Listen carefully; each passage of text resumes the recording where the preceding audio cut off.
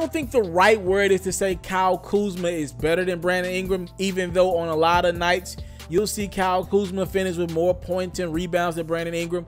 Listen, here's the dynamics of the game of basketball that you have to understand.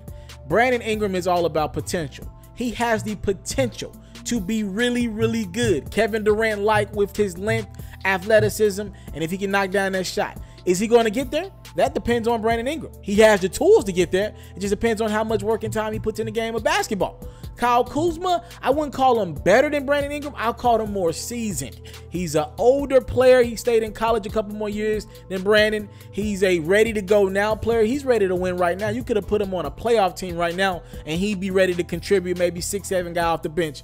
Kuzma's ceiling is a lot lower than Brandon Ingram's. What you see is pretty much what you're going to get for the rest of his career. He can get a little better, but with Brandon Ingram, he has the potential to be really, really good.